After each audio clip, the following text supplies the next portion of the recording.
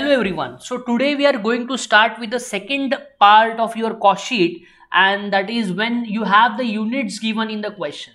So whenever we have units given in the question जब कभी भी आपको क्वेश्चन में यूनिट्स दिए होंगे तब आपको क्वेश्चन से रिलेटेड यूनिट्स के साथ एक अलग से कॉलम आपके कॉस्ट शीट में बनाना है that is called cost per unit so हमको कॉस्ट पर यूनिट का भी कॉलम ज़रूरी है मतलब हम बनाएँगे पर्टिकुलर्स दो columns for our amount two columns for your amount and one column for our cost per unit अभी कुछ कैलकुलेशंस आपको करने हैं, इसके लिए एक फॉर्मूलाज है जो मैंने आपके लिख लिख के रखे हैं। द फ़र्स्ट फॉर्मूला इज़ जब कभी भी आपको प्रोडक्शन कैलकुलेट करना होगा तो आपको क्या करना है? Sales plus closing stock of finish goods minus opening stock of finish goods अगर आप करोगे तो आपको प्रोडक्शन मिल जाएगा। आप एक ट्रेडिंग अकाउंट भी बना के सॉल्व कर सकते हो। This is the trading account T form में। तो यहाँ पे हम लिखेंगे to opening stock of finish goods यहाँ पे हम लिखेंगे टू प्रोडक्शन यहाँ पे हम लिखेंगे by sales and here we will write by closing stock of finish goods if you take the total of this and calculate the balancing figure, then also you'll get the same answer otherwise you can remember this formula so how to calculate production sales plus closing stock of finished goods minus opening stock of finished goods you will get production and number second sales calculate करने के लिए opening stock of finish goods plus production minus closing stock of finish goods will get the answer as sales okay तो आपको question में से देख के decide करना है कि कौन सा फॉर्मूला यूज़ होगा so this is the question from the following information of Kapil prepare cost sheet for the year ended तो कॉस्टशीट तो आपको सेम दिख रहा है जो हमने इसके पहले चार क्वेश्चन किए थे। तो अभी इसमें क्या नया है? देखो, यहाँ पे एडजस्टमेंट नंबर वन में जाएँगे। Closing stock of finish goods was 500 units and number of unit sold during the year was 9500 number of unit sold इसका मतलब आपको इस क्वेश्चन में सेल्स दिया है। तो सबसे पहले हम क्या करेंगे? प्रोडक्शन ढूंढेंगे। तो कैसे ढूंढते हैं प्रोडक्शन देखो फॉर्मूला यहाँ पे लिखा है मैंने। कैसे ढूंढते हैं? Sales plus closing stock of finish goods minus opening stock of finish goods तो यहाँ पे लिखता हूँ sales plus closing stock of finish goods minus opening stock of finish goods तो सेल्स के यूनिट्स यूनिट्स लिखने सेल्स के यूनिट्स कितने थे? Nine thousand five hundred okay sales का यूनिट्स फिर क्लोजिंग स्टॉक का यूनिट्स कितना था? फाइव हंड्रेड था, ठीक है? ओपनिंग स्टॉक का फिनिश गुड्स का यूनिट्स यूनिट्स लिखना है अमाउंट मत लिख देना रॉन्ग हो जाएगा। नील है। इसका मतलब आपका प्रोडक्शन कितना आया? आपका प्रोडक्शन आया ten thousand units okay after getting this cost sheet बनाने से पहले यहाँ पे हम लिखेंगे सेल्स तो सेल्स हमारा 9500 यूनिट्स क्वेश्चन में दिया था। एंड प्रोडक्शन है हमारा 10000 यूनिट्स क्वेश्चन में दिया था. So whenever units are given आपको फॉर्मेटिंग करते वक्त इतनी सारी चीज़ें ध्यान रखनी है. Production and sales we have to noted because ये आपको डिवाइड करना है. अब हम अगला काम करेंगे हमारा पहले जैसा.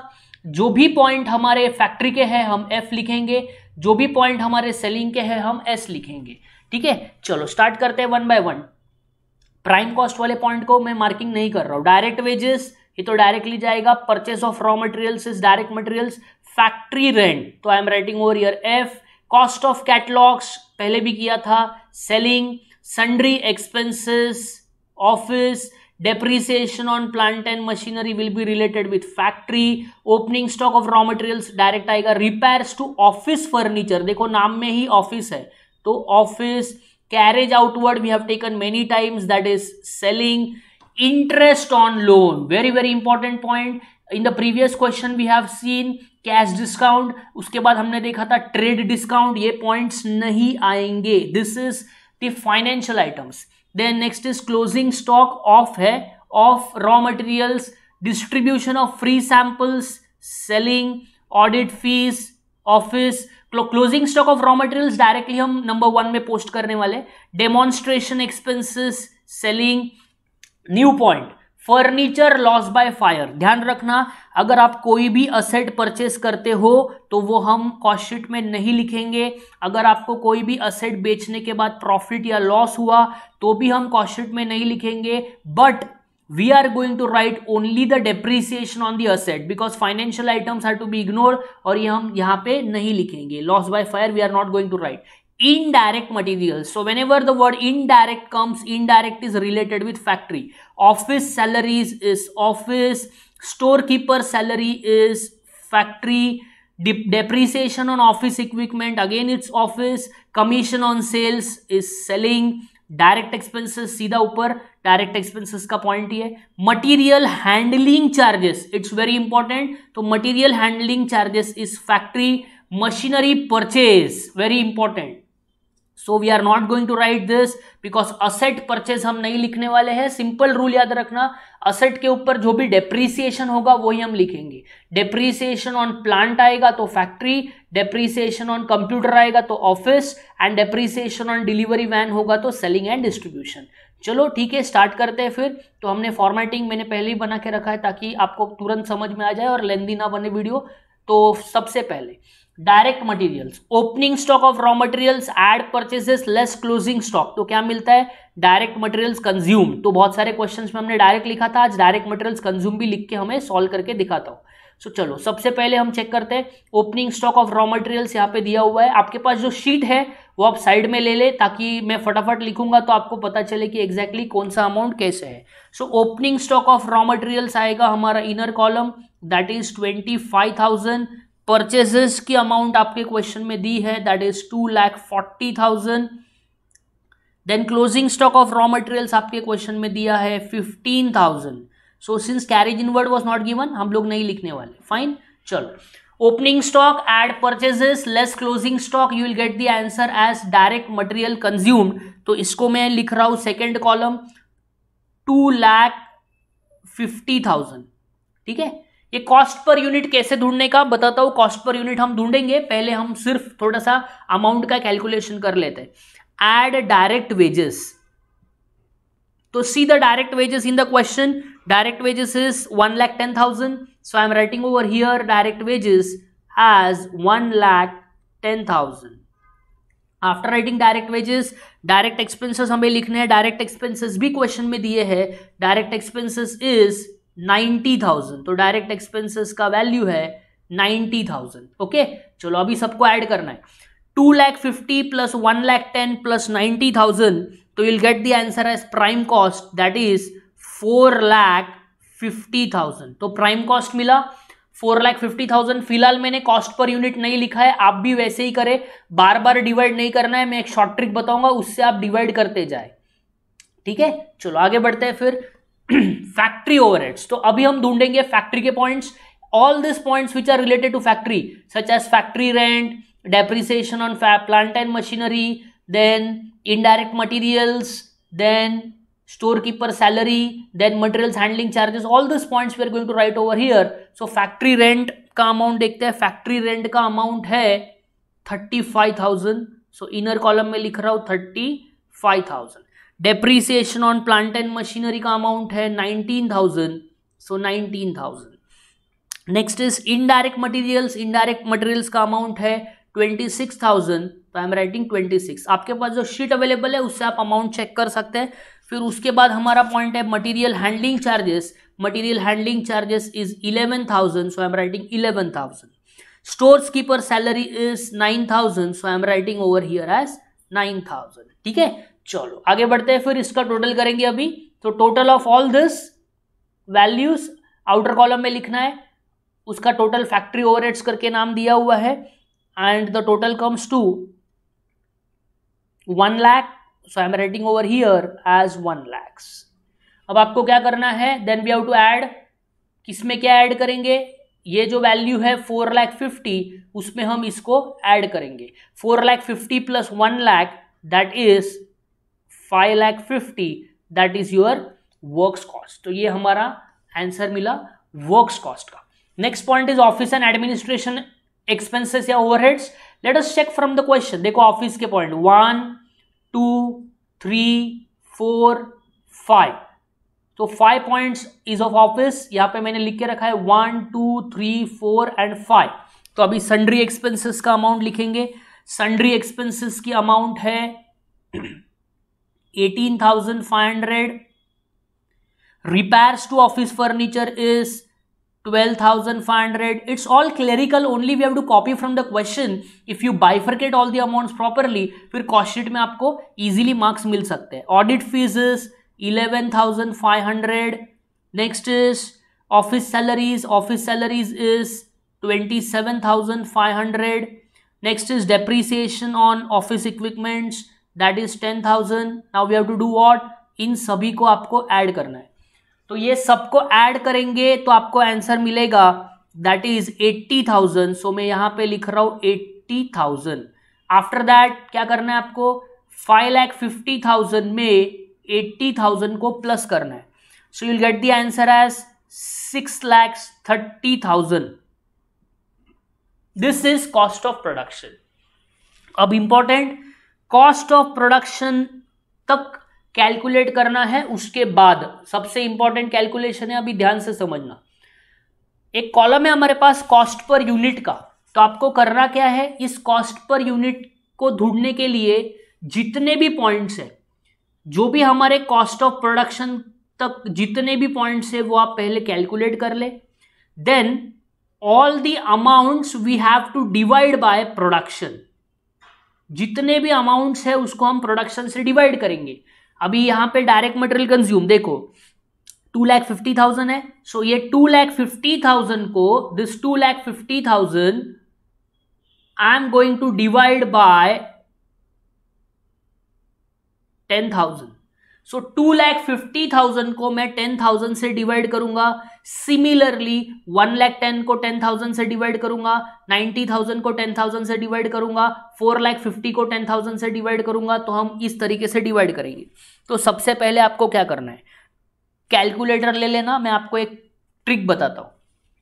टू लैख फिफ्टी थाउज़ेंड को डिवाइड करना है टेन थाउज़ेंड से।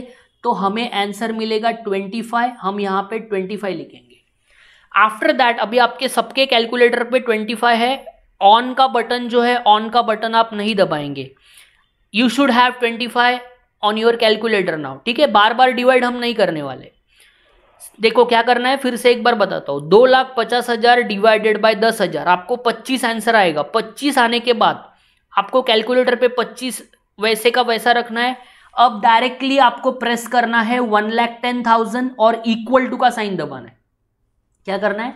One lakh ten thousand equal to बार बार डिवाइड नहीं करना है, एक ही बार डिवाइड करना है। Two lakh fifty divided by ten thousand you'll get twenty five then after that directly आपको प्रेस करना है one lakh ten equal to का साइन फिर नाइन्टी थाउज़ेंड इक्वल टू का sign four lakh fifty equal to का sign one lakh equal to का sign we have to press in that manner ऐसा ही करते जाना है अकॉर्डिंगली ठीक है? चलो डायरेक्ट मटीरियल्स लिख दिया मैंने डायरेक्ट वेजेस के लिए डिवाइड करके आएगा इलेवन देन डायरेक्ट एक्सपेंसेस के लिए आएगा nine then four lakh fifty को अगर डिवाइड करेंगे तो आएगा फोर्टी फाइव देन हम आगे बढ़ते हैं। फिर फैक्ट्री रेंट ये फैक्ट्री के जो पॉइंट्स है, इसका इंडिविजुअल भी कैलकुलेशंस कर लेना साइड बाय साइड एक्स्ट्रा किया तो कोई प्रॉब्लम नहीं। यहाँ पे आएगा three point five three point fifty यहाँ पे आएगा one point ninety twenty six के लिए आएगा, टू पॉइंट सिक्सटी इलेवन के लिए आएगा, one point ten, nine thousand के लिए आएगा, zero point ninety one lakhs को अगर आप दस हज़ार से डिवाइड करोगे तो आएगा टेन। फाइव लैख फिफ्टी को अगर दस हज़ार से डिवाइड करोगे तो आएगा fifty five. So cost per unit is very important लेकिन पूरा कैलकुलेट करने के बाद ही आपको कैलकुलेट करना है, ये ध्यान रखना। Eighteen five hundred divided by ten thousand that comes to one point eighty five twelve thousand five hundred यहाँ पे आएगा one point twenty five eleven five hundred divided by ten thousand will be one point fifteen then it's twenty that is two point seven five ten thousand यहाँ पे आएगा one eighty thousand के लिए यहाँ पे आएगा eight okay six lakh thirty thousand divided by ten thousand will be sixty three this is important ये काफ़ी इंपॉर्टेंट है। अगर आपका ये कॉस्ट ऑफ़ प्रोडक्शन का सीपीयू गलत हुआ तो आपका closing stock of finish goods भी गलत हो जाएगा। So very important point is closing stock of finish goods is always valued at cost of production CPU the 63 will be considered for valuing the closing stock of finished goods. So don't commit any clerical error while solving this so so, पहले मैंने क्या किया? Cost of production तक calculate किया। उसके बाद हमने सारे वैल्यूज़ को डिवाइड करते गए तो हमें आंसर मिल गया लास्ट में 63 now i'm going to write opening stock of finished goods not available dash dash. Closing stock of finished goods. Let let us check. From the question ठीक है? क्वेश्चन से देखते हैं एक बार. Closing stock of finish goods है हमारे पास 500 units अब students क्या है? सिली मिस्टेक करते हैं. दे राइट 500 ओवर ईयर ऐसा नहीं हमको करना है. Closing stock of finish goods 500 units है। तो 500 यूनिट्स मल्टीप्लाइड बाय ये जो आपको सीपीयू मिला है यहाँ पे तो दिस 63 ये जो 63 है यही मैं यहाँ पे कंसिडर करूँगा 63 ओके सो क्या करना है आपको? क्लोजिंग स्टॉक के यूनिट्स लेने हैं और उसको कॉस्ट ऑफ़ प्रोडक्शन के सीपीयू से मल्टीप्लाई करना है। सो so, मल्टीप्लाई करने के बाद हमें आंसर मिलता है thirty one thousand five hundred, okay? Bracket डाल रहा हूँ और उसका सीपीयू यहाँ पे हम लोग सिक्सटी थ्री ही सेम लिखेंगे। फाइन अब सिक्स लैख थर्टी में से आपको माइनस करना है थर्टी वन फाइव हंड्रेड। तो six lakh thirty minus thirty one five hundred that comes to five lakhs ninety eight thousand five hundred. यही थोड़ा सा इंपॉर्टेंट है। अब ध्यान रखना जब कभी भी हम सीओजीएस ढूंढे तो सीओ जी एस ढूँढने के बाद यहाँ से लेके सीओजीएस से लेके हम सेल्स से डिवाइड करेंगे।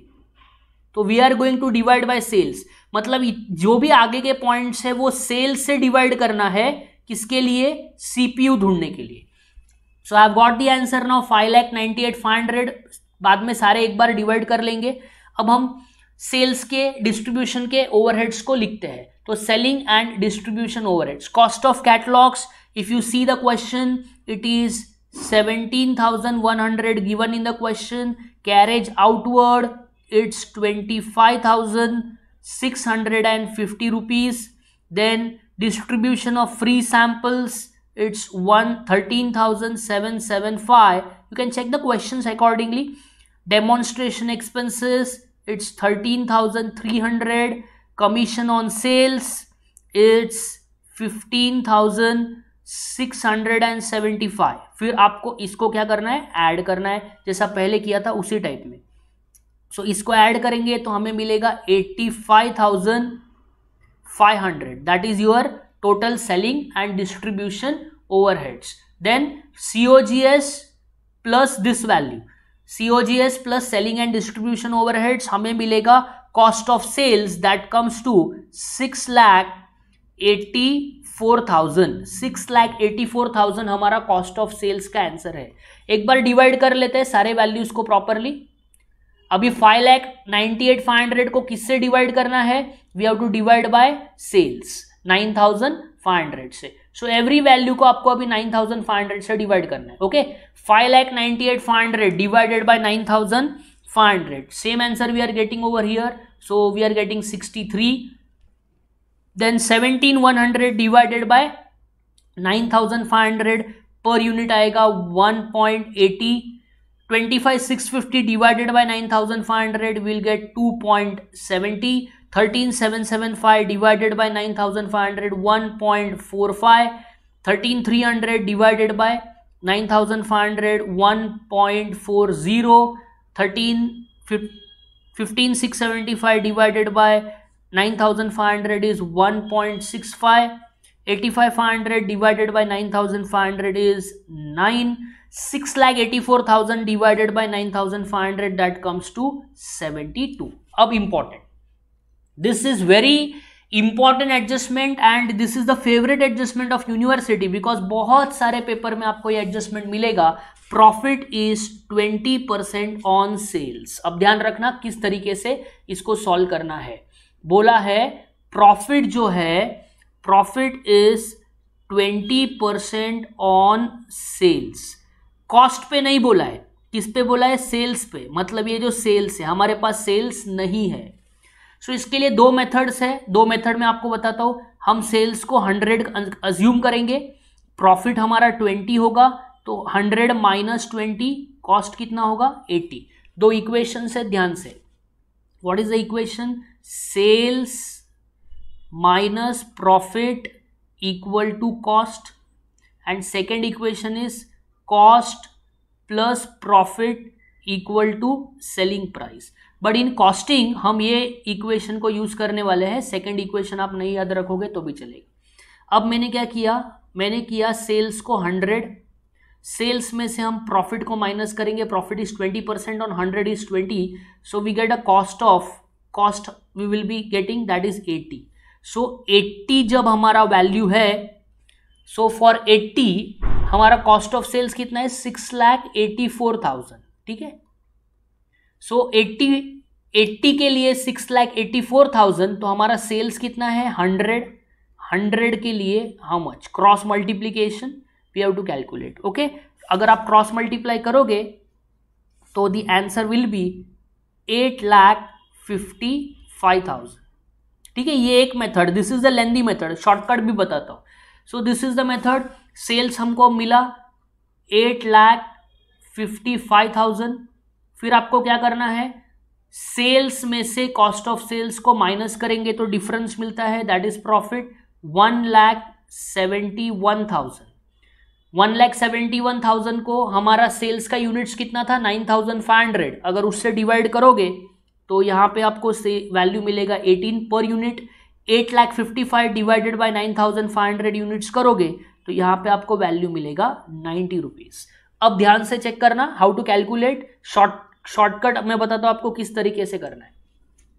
डोंट यूज़ दिस मेथड आपको क्वेश्चन में दिया था profit is twenty percent on sales okay so what to do सबसे पहला step hundred divided by twenty हमको करना है। हंड्रेड को अगर हम ट्वेंटी से डिवाइड करेंगे तो हमें आंसर फाइव आता है। Hundred divided by twenty is five okay फिर आपको क्या करना है?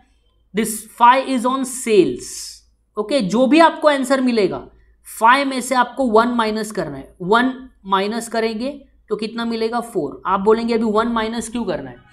बिकॉज़ जो भी कॉस्ट और प्रॉफिट का रिलेशनशिप है, उसके, उसमें वन का डिफरेंस है।